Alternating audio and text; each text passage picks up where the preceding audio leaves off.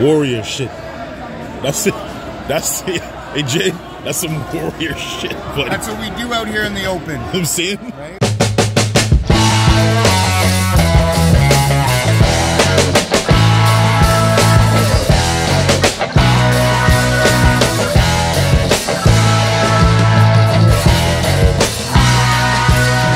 back another one here.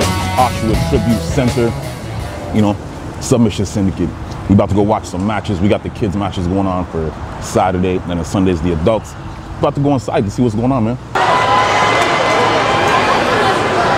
Yeah, big ass mat space down there. We got the concession stand on the side. About to go find the team and see what they're doing. You already know what it is, man.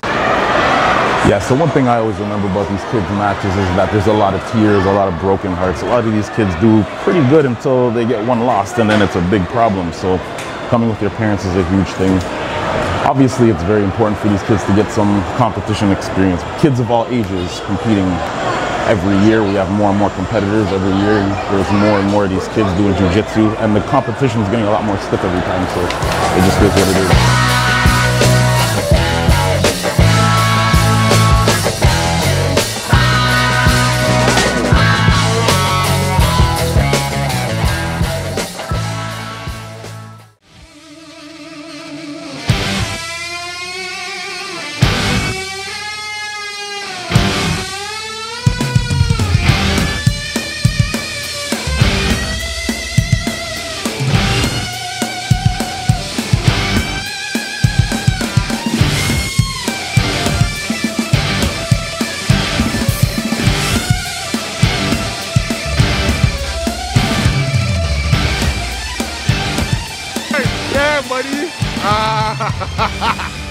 yes, yes.